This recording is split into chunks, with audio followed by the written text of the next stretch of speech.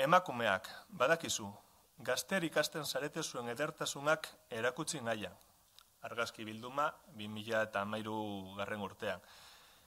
Tradizionalki indarra, eh, gizonen genero estereotipo bat izan da, eta da gaur egun ondino, eta edertasuna lotu izan da tradizionalki emakumeekin.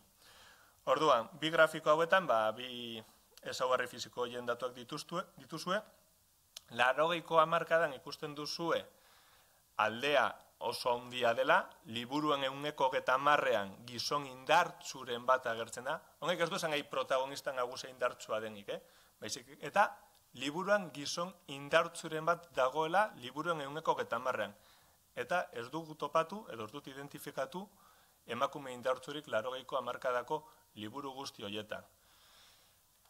Joera, bilakara gaur egunera, ba, ikusten dugu, mutien kasuan presentzia murriztu dela, euneko gehi batean, liburu euneko eta batean, eta bai agertzen hasi direla eh, emakume indartsuak.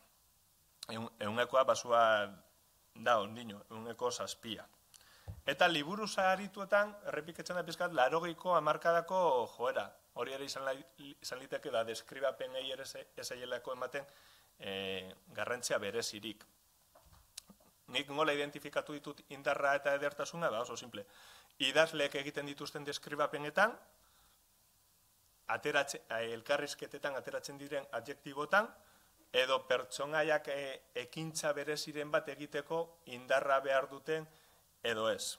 Horreta arreta ipini dut. Eta edert, e, bueno, indarraren aztertuta, orain edertasuna aztertu beharko dugu. Eta ikusten dugu, larogeikoan markadako liburuen erenean emakume ederren bat agertzen da. Gainera datu hau esanguratsuagoa da, beraien presentzia, liburu horietan, gizonen baino askoz gutxiagoa dela kontuan izanik.